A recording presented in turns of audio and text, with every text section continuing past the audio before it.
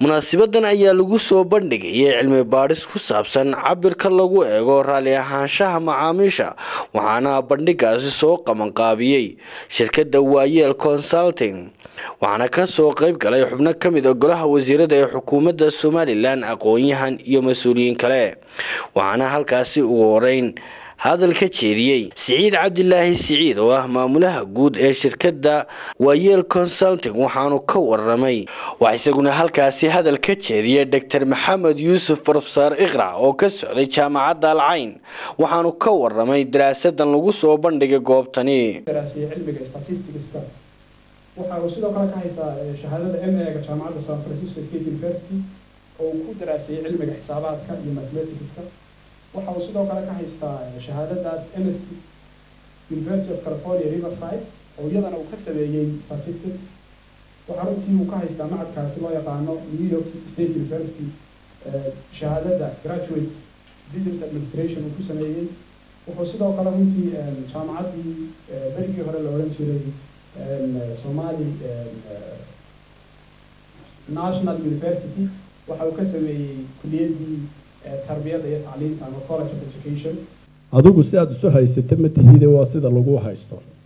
Arrintani markaa daraasaadkani waxa weeye dadkii loo sameynayey khidmadda ama dadkii wax loo qabanayey ama dadkii serviceska loo sameynayey ha noqdaan qaar ma garanaysaa khidmado dowladda dhinaceeda ka imanaya ama ha noqdaan qaar shirkadaha dhinacooda ka imanaya labadaba ayaa waxay samaynayaane xaqna u leeyihiin inay qiimeeyaan serviceska heleen. Taasu marka waxyaabo badan bay keentaa xagga businesska. Waxay keentaa dhaqaalahooda inay kordhiso waanaynu fahmi doonaa hadhowta siday u kordhiso. Xagga publica ama xagga dowladdana waxay keentaa maamul wanaag. Marka waxaanaynu ka hadlaynaa waa cilmi.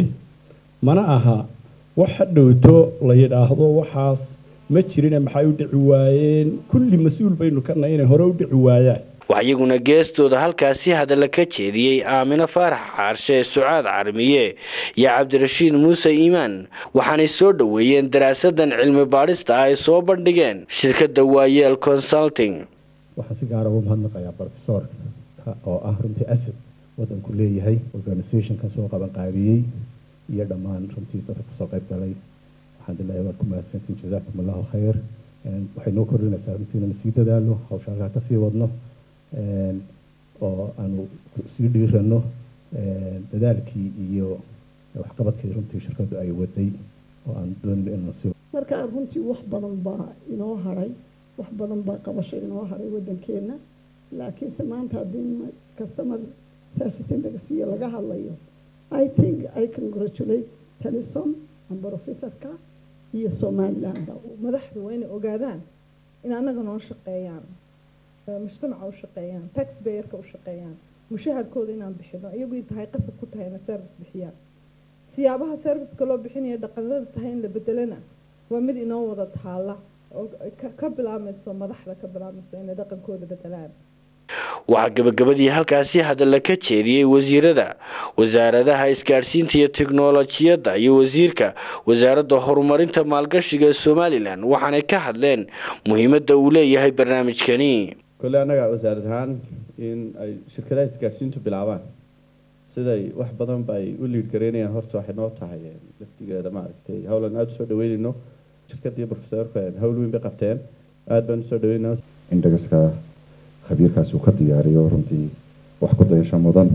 Waxaa kaloona mahadnaqaya waayeel consulting oo facilitate garayshay hawshan iyo aqoontan inaan faaidnay waxaan leeyahay social responsibilitygii dalka kugu lahaa qeybo ka mida mid ahaa ma unbaad noo keentay dee aqoon-yahanada kale meelaha jooga reer somaliya waxaan leenahay dalku wuxuu baahi u qabaa waa aqoon mukhtaar ismaaciil cali t v-ga universal hargeysa